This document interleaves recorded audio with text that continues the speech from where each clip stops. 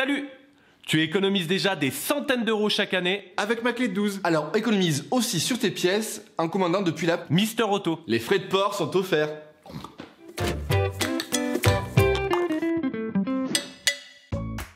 Pour cette opération, munis-toi du filtre à air que tu peux retrouver dans la description de la vidéo. Coupe le contact de ton véhicule. Serre le frein à main.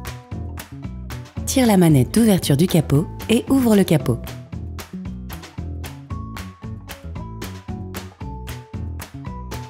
Tu pourras ainsi visualiser facilement la boîte à air pour changer le filtre. Soulève les quatre loquets de maintien du couvercle de boîte à air, puis décale-la.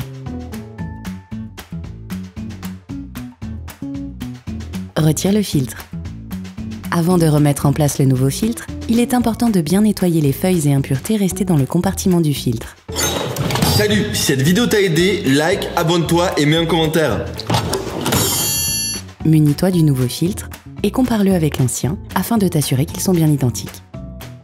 Tu peux maintenant mettre en place le nouveau filtre. Assure-toi que la collerette caoutchouteuse est placée correctement dans son emplacement. Cela te permettra de remettre facilement le flasque. Repose la boîte à air dans son emplacement, puis verrouille-la avec les quatre loquets.